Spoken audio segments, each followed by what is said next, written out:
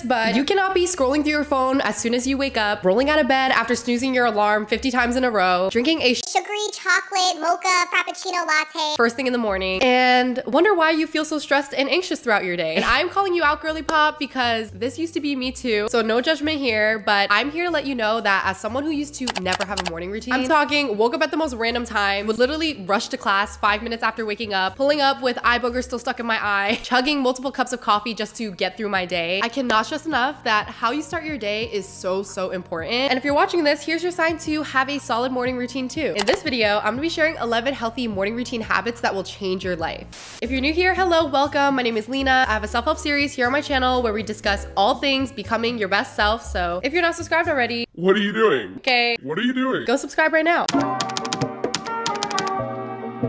First things first, we have to mm-hmm. understand why having a morning routine is important in the first place because what are we doing all this for? so I like to think of my morning routine as putting on my armor for the day. This is actually something I heard from the Jay Shetty podcast and basically you're taking intentional time out of your morning to fill your own cup, take care of yourself and feel protected from, you know, the unexpected events that might occur throughout your day, annoying people, customers, coworkers that you have to deal with. So when you have a morning routine, you are just more grounded and calm and you feel like you can handle it instead of being reactive and coming from this stressed place because that's how you started your morning. Also, starting the day doing things for you is so important because if you really think about it, throughout the day, you are giving all of your time and energy to literally everything and everyone else. School, your job, work, your kids, coworkers, customers. You are pouring into everyone else's cup but your own. So when you don't have a morning routine, you're just in this constant fight or flight mode instead of being calm and grounded and feeling confident to handle whatever life throws at you and humbles you with. and disclaimer, it's all about creating realistic routines that work with you and your lifestyle. So this means you don't need a three hour long aesthetic morning routine like you see on social media. As long as you are doing habits to take care of yourself and fill your own cup, that's all that matters. So out of all these habits that I'm about to share with you, you could just choose whatever works with you and your schedule. Have a realistic, consistent alarm routine that works for you. You do not need to wake up at the butt crack of dawn if you don't want to and if it doesn't align with your schedule. What's more important is that you are waking up at the same time consistently every day and you give yourself enough time to have a morning routine. So set your alarm at a set time that is consistent and works for your schedule. And you guys know that alarm that we have automatically set on our phones? Hold on, let me show you.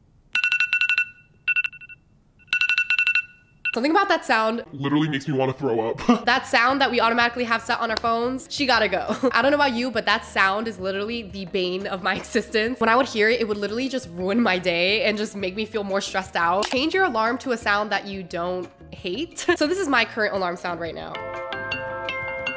Hey, hey, hey, hey.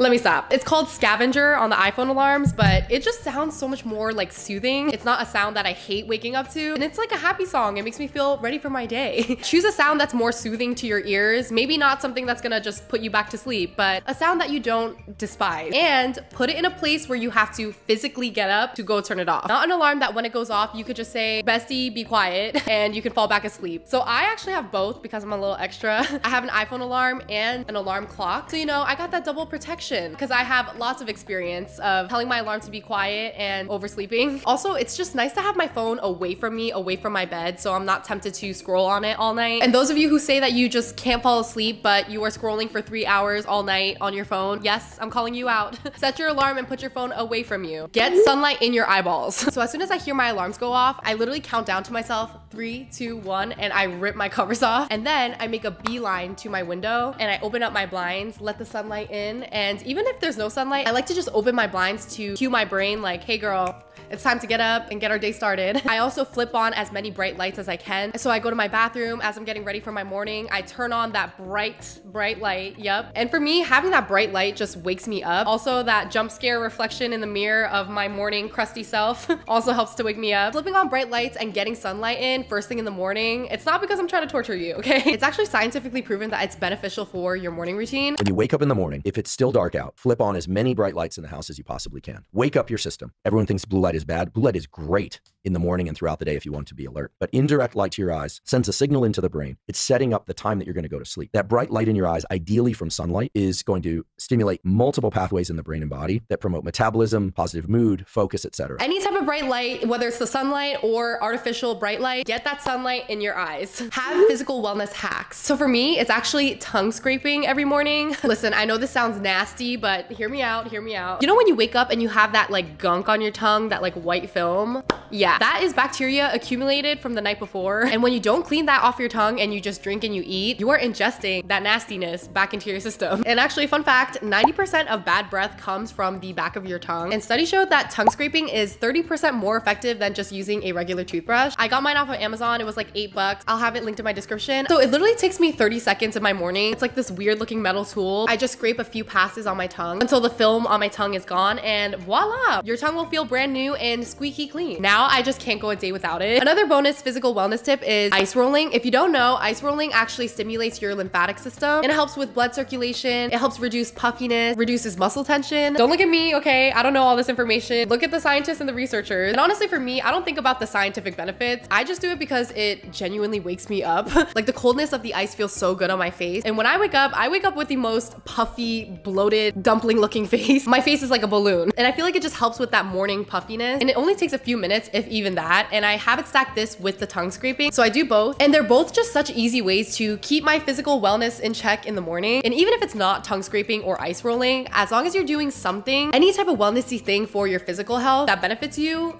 do that. Make your bed every morning. There are psychology studies that prove that this is beneficial. Making your bed helps boost productivity, reduces stress levels, and helps you feel more organized. And when you take the intentional time to make your bed in the morning, it's almost like you're sending a subconscious signal to your brain. You are in control, you are organized, and you are ready to tackle the day ahead. And this is just such a small act of self-discipline that can really set the stage for a productive and successful day. I never leave the house without making my bed. And not only does it make my room look cleaner, but it also helps me not feel tempted to lay in it again. Daily movement every morning. Any type of movement is amazing in the morning and bonus points for you if that movement includes you being outside. So natural light helps your body produce more vitamin D, which is crucial for your immune and bone health. It also helps with your alertness. Morning light was proven to boost cognitive function, helps regulate your sleep patterns so you sleep better. And for me, just getting outside and having movement just boosts my mood. Also, movement is gonna immensely help your digestion. If you think about it, your body needs some sort of movement after sleeping literally all night. So it's a great way to get your blood flowing and it's gonna help kickstart your digestion and have things moving smoothly, if you know what I mean. so movement does not mean I'm telling you to go run a full marathon first thing when you wake up. If you're someone that doesn't like to work out in the morning, that is totally fine. Daily movement can be you stretching for literally five minutes or walking for 15 to 20 minutes outside. An easy way to do this is if you take like the bus or the train to work, if it's not too far, maybe you could just get up earlier and walk instead. Walking your dog in the morning. All that counts as movement. And what I like to do for daily movement, sometimes I like to work out in the morning or other times since I work from home, I like to go out and do work at a cafe to feel more productive. And so I'll walk like 30, 40 minutes to the cafe and treat myself to a coffee or tea and get work done. And so basically I'm being like triple productive. Hydrate every single morning. I cannot stress this enough. Overnight, your body becomes dehydrated because you literally have not taken a sip of water for the past seven, eight hours. So drinking water as soon as you wake up will rehydrate your cells and it's gonna help your digestion just by getting things moving. And a bonus tip, I like to add lemon and sea salt to my water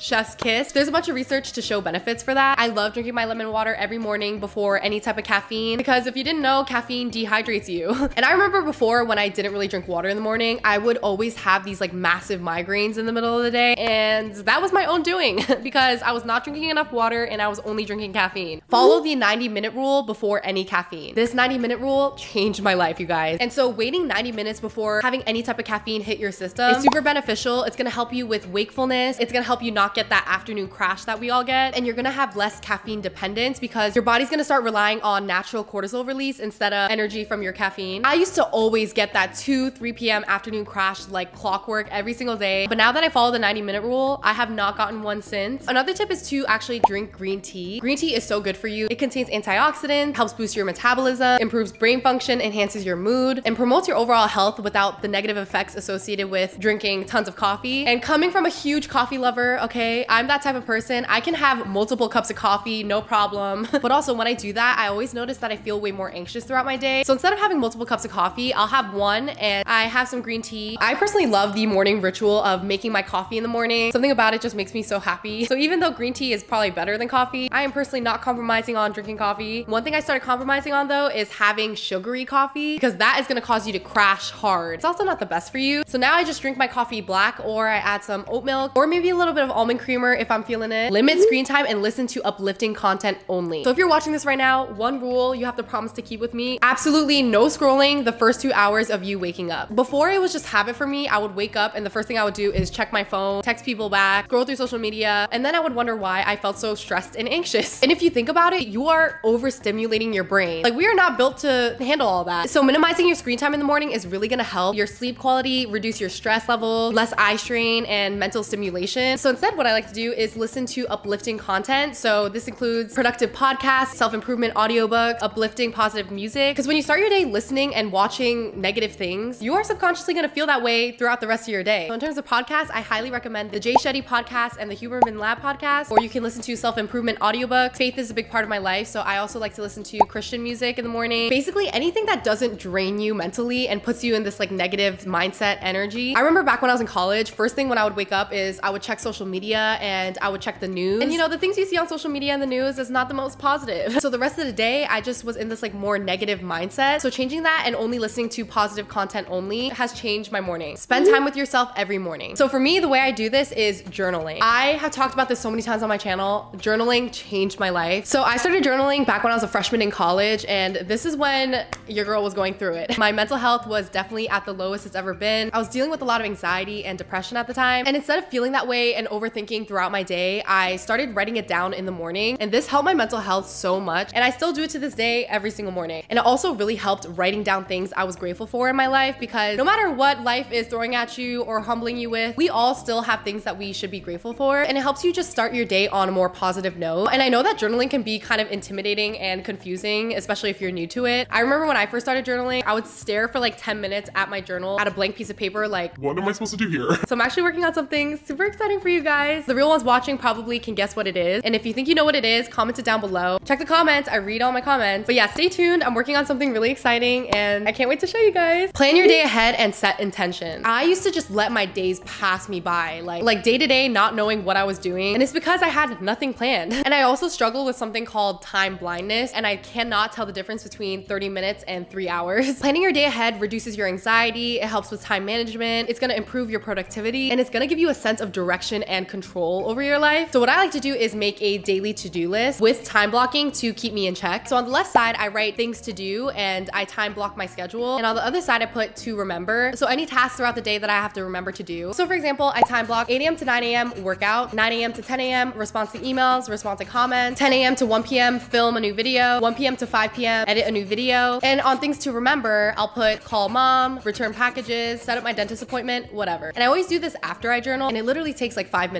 And it really helps me envision and set up my day with intention and get things done. Eat a balanced breakfast. So try to include like protein, healthy fats, fiber. So this also means you want to avoid the sugary breakfast. Listen, as someone that has a sweet tooth, I know, but you want to avoid like sugary cereals, that yummy chocolate croissant, that chocolate mocha, vanilla, frappuccino latte. She has to go. High sugar first thing in the morning is what's causing your afternoon crash. Try to replace it with whole foods, fruits, high protein foods. It's gonna help keep you full for longer and it's overall healthier for you. So tip, if you don't have time in the morning to make a full breakfast, you can always meal prep the night before. So back when I was in college, I would always do this. I would have my protein overnight oats ready for me in the fridge with my fruit already pre-washed. In the morning, I would just wake up, have my overnight oats, throw in my fruit, boom, five minute healthy breakfast, done. And my recent obsession lately has been chia seed pudding with some raspberries on top. You guys, it is so good. If you haven't tried it already, thank me later. So the night before, I make my chia seed pudding. I have my fruits ready, already washed. And in the morning, I put it all together. I also like to make eggs in the morning for protein, maybe add an avocado for some healthy fats. There you go, a balanced, healthy breakfast that keeps me full and keeps me energized. Another bonus tip that's been really helpful for me is eating your well-balanced breakfast before your morning coffee or tea. I used to just drink coffee on an empty stomach